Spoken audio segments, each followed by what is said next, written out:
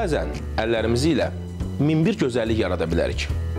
Bəzən də əllərimiz ilə qarşı tərəfə zor tətbiq edə bilərik. Bu dəfəki özünü müdafiə rubrikasında əsas rol əllərimizin üzərinə düşüb. İzləyək.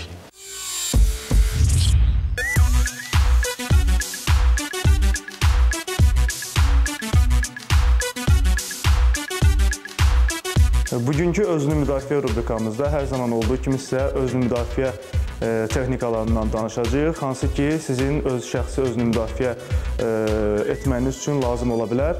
Belə ki, bugün bugünkü verilişdə seçdiyimiz e, fənd rəqib əgər əl nahiyəsindən tutarsa və sizə müxtəlif tə, müxtəlif növ təzyiq göstərərsə və yaxud da xəsarət verməyə çalışarsa, necə bu vəziyyətdən çıxmaq və özünüzü müdafiə edə bilməyinizdən bəhs edəcək. Bugünkü buraxılışımızda ə, məhz bu fəndi seçməyimizə səbəb ə, ona görədir ki, əsl həyatda adətən kinolarda olduğu kimi deyil, yəni birbaşa ə, yumruq, ayaq zərbəsi ilə adətən konfliktlər başlamır.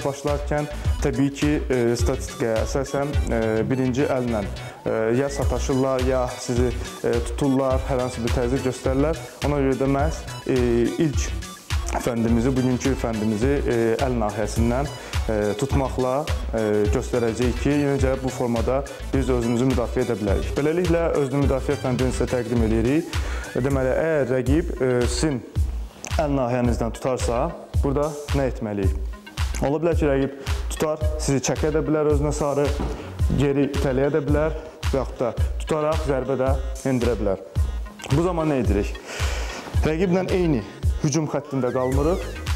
Çünki burada rəqibə gücüm çatmaya bilər. Fiziki cəhətdən çox güclü ola bilər və ola bilsin ki, gücüm yetməz. Əlimi qaldırmaq istədikdə e, icazə verməz və yaxud da çəkmək istədikdə də icazə verməz. Burada yeganə yol bilək və dirsəyi ikisini də eyni vaxtda qatlamaqdır. Ancaq onun önündə yox. Qırağa çıxaraq. Bir, bu formada. Digər sol əlimizlə rəqibin barmaq hissələrindən tuturuq. Nəyə görə? Çünki tutmasaq rəqib əlini çəkəcək və biz texnikanı tətbiq edə bilməyəcəyik. Ona görə çəkilik kənara doğru, hücum xəttindən kənara. Rəqibin barmaqlarından möhkəm tuturuq çəkə bilməsin. Və bundan sonra digər sağ əlimizlə biraz geniş formada əlini götürürük və özümüzə və aşağıya doğru vururuq. Bu zaman çox şiddətli ağrı baş verir və rəqib e, səlis düşünə bilmədiyindən bizə heç bir e, qarşı, heç bir formada qarşı qoya bilmir. Və adətən bir sual verirlər ki, niyə rəqibin digər əli boşdur, ancaq bizi vurmur? Təbii ki, mən texnikanı zəif işləsəm, rəqib bizi vura biləcək. Ya bu nahiyədən, ya ayaq nahiyəsindən. Ona görə biz ağrı verici formada işləməliyik ki, rəqib bizə tam tabi olsun. İndi bir daha cəhd eləyəcək vurmağa. Cəhd eləyib. Və budur, rəqib artıq zərərsizləşdirilmişdir. Burada rəqibi iki formada yerə yıxa bilərik. Ya əlimizi dirsək sinəsindən tutub yerə sıxıb yıxa bilərik və yaxud da ki, dirsəyimizi dirsəyin üzərinə qoyub yerə yıxa bilərik. Və sonda e, tam zərərsizləşdirmək üçün sol dizimizi rəqibin çiyninə qoyuruq və bu formada öz çəkimizi, ağırlığımızı rəqibin üzərinə salırıq, nəticədə tərpənə bilmir və ağrı verici fənddə tətbiq edirik. Burada əgər zəruridirsə, rəqibin qolunu qırmaq da olar.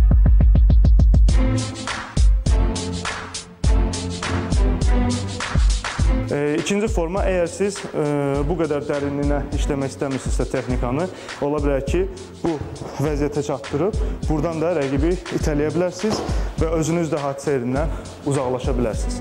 Ola bilər ki, rəqib e, eyni əlimizdən iki əllə tuta bilər. Bu zamanda həyəcanlanmağa heç bir səbəb yoxdur. Göstərdiyimiz fəndi burada da tətbiq edə bilərik. Yenə hücum xəttindən yayınırıq. Bilək və dirsək eyni vaxtda qatlanır. Yenə əlindən, barmaqlarından tuturuq və aşağıya doğru rəqibi qolunu vururuq və yerə doğru uzadırıq. Nəzərinizə çatdıraq ki, hər bir buraxılışımızda sizə göstərdiyimiz özünü müdafiə texnikaları yalnız və yalnız son zərurət halında tətbiq edilməlidir. Yəni hər fürsət düşdükdə və yaxud da e, ciddi bir məsələ olmadıqda bu fəndləri tətbiq edib qarşı tərəfi də e, xəsarət verməmək lazımdır. E, Və onu da qeyd etmək lazımdır ki, heç bir insan nə qədər e, təhlükəsizlik şəraitində yaşasa belə heç bir hadisədən heç zaman sığortalanmamışdır tam olaraq. Ona görə də e, özünü müdafiəni öyrənmək həm uşaqlar üçün, həm xanımlar, həm bəylər üçün bir sözlə hamı üçün gərəklidir və bu müsbət haldır.